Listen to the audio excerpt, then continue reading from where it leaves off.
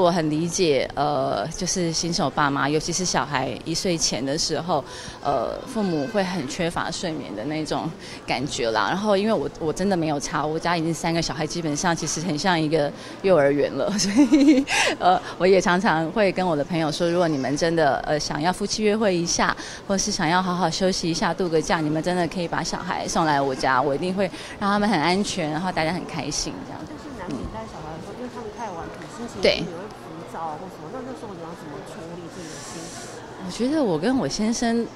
已经被小孩训练到非常非常的有耐心，就是哇，就是我自己都不知道自己可以这么有耐心的一个程度，所以很很少哎，我们很少会被小孩激怒，嗯。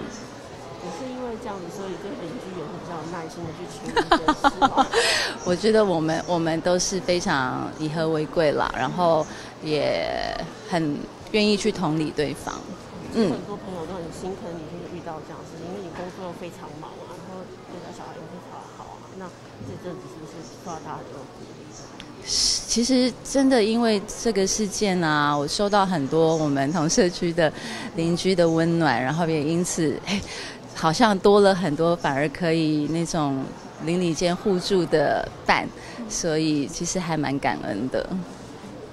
而且好像跟邻居两次调解都没有成功，嗯现在还有再见到邻居。没有哎、就完全好像有点消失了。其实我我也不是很清楚，嗯，